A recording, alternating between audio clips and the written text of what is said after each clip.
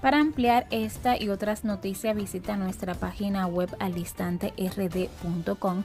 Síguenos en las redes sociales como alistanterd.com, mi cuenta personal Giselle Gisela.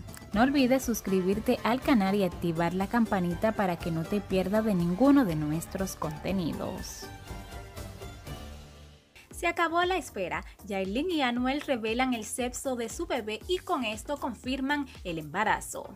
Tras varios meses de rumores, finalmente Yailin, la más viral, y Anuel confirmaron la noche de este lunes durante una celebración que esperaban a su primer hijo juntos, luego de contraer matrimonio el pasado mes de junio. Anuel fue el primero en revelar la noticia ante sus millones de seguidores en su cuenta de Instagram, cuando publicó un video en el que se ve besando a Yailin mientras le toca el vientre. Además, confesó estar feliz de recibir a su primera criatura junto a, su esposa, quien más tarde tuvo la responsabilidad de decir que su primogénito será una niña.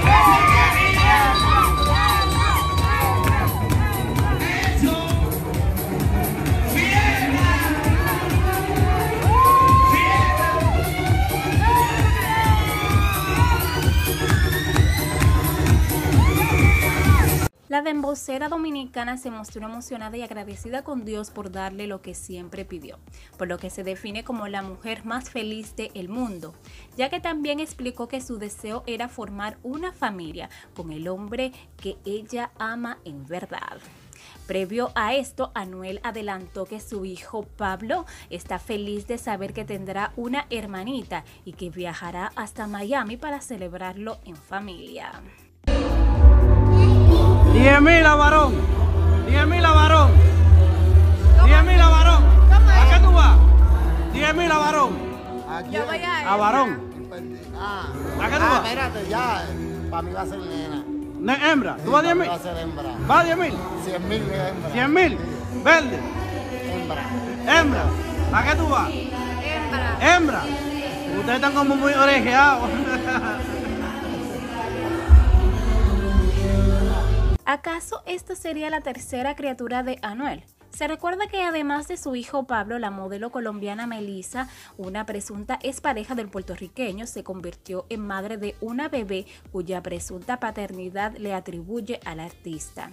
De acuerdo con la cuenta de Instagram de Melissa, la bebé tiene el apellido del el cantante.